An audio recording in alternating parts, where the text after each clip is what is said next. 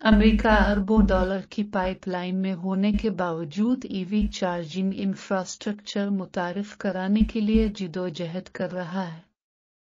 New York 24 दिसंबर, सियासत dot com, Joe Biden इंतजामिया की जानब से दो साल कबल अरबों डॉलर की फंडिंग की मंजूरी के बावजूद सिर्फ़ जो बाइडेन इंतजामिया की जानब से दो साल कबल अरबों रुपए की फंडिंग की मंजूरी के बावजूद अमेरिका की सिर्फ़ दो रियासतों, ओहायो और न्यूयॉर्क ने इसे नए ईवी चार्जिंग स्टेशनों के लिए इस्तेमाल किया है, क्योंकि एक मज़बूत ईवी चार्जिंग नेटवर्क अभी भी कई साल दूर है।